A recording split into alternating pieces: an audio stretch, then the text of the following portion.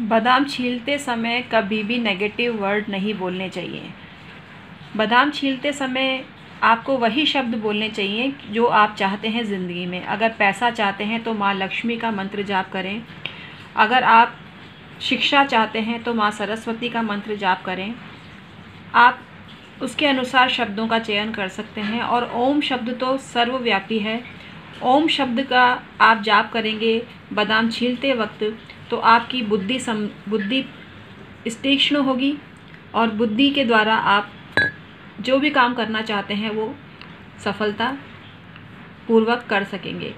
तो बादाम छीलते समय कभी भी नकारात्मक शब्द नहीं बोलने चाहिए क्योंकि बादाम बुद्धि बढ़ाती है।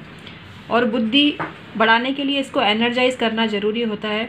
आप इसको छूकर कुछ शब्द बोलते हैं तो आपका भला होता है और आपकी तरक्की होती है और आपके पास पैसा ही पैसा आने लगता है। जैसे आप मनी बोल मनी चाहते हैं तो एक स्विच वर्ड है। Divine count order divine count order बोलते ही आपको चमत्कारिक रूप से लाभ होगा।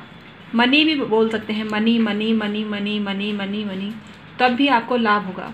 तो कुल मिला के ये कहना चाह रही हूँ, बादाम छीलते समय जो आपको चाहिए, उसके हिसाब से शब्दों का चयन करें।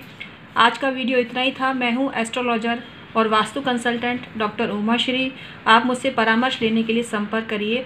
Thank you so much.